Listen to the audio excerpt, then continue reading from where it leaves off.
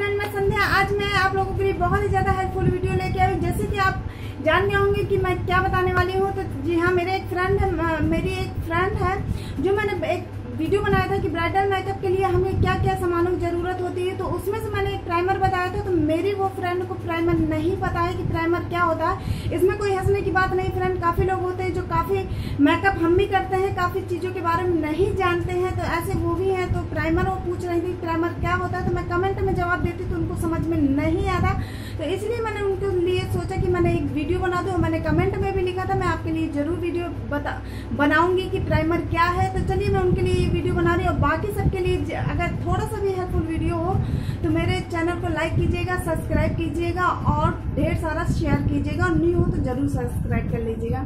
तो चलिए मैं स्टार्ट करती हूँ वीडियो बताती हूँ प्राइमर क्या है। प्राइमर मैं बता दूँ हमारे मेकअप का अहम हिस्सा है अगर आप फाउंडेशन का मेकअप कर रहे हो। अगर आप ब्राइडल मेकअप कर रहे हो तो प्राइमर बहुत ज़रूरी है फ्रेंड क्योंकि प्राइमर हमारे जो फाउंडेशन के पहले जो लगता है तो आप देखते होंगे, अगर हम फाउंडेशन लगाते हैं तो हमें क्या होता है, चेहरे पे छोटे छोटे छोटे छोटे से जो दाने होते हैं, अगर हम प्राइमर नहीं लगाएँगे तो वो फाउंडेशन ही डायरेक्ट अप्लाई कर लेंगे तो वो छोटे छोटे दाने हमारे दिखने लगते हैं, जिससे वो गंदा दिखता है फेस और लंबे समय तक वो मेकअप नहीं चलता, और जाने के साथ साथ दिखने लगता है कहीं लगा है, कहीं नहीं लगा।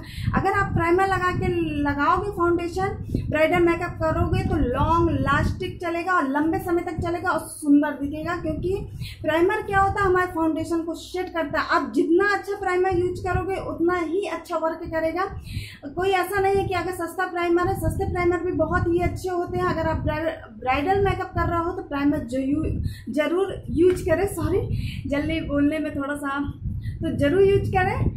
तो बहुत ही अच्छा है। तो जिनके, मेरी जो फ्रेंड है तो आपको समझ आ ही गया होगा कि अगर आप ब्राइडल मेकअप कर रहे हो, कोई भारी मेकअप कर रहे हो, शादी फ़ंक्शन का मेकअप कर रहे हो तो फाउंडेशन के पहले प्राइमर अप्लाई करें। ये लोकल मार्केट में भी मिल जाता है। अगर आप ऑर्डर करके मंगाना चाहो तो ऑर्डर करके मंगा सकते हो। तो ये प्राइमर बहुत ही अच्छा वर्क करता है। हमारे मेकअप का अहम हिस्सा प्राइमर ही होता है। जैसे कि मैं कई प्राइमर ऐसे यूज़ कर चुकी हूँ बुडा का इस ब्यूटी का एक काफ़ी चीज़ देख सकते हो आप ऐसे।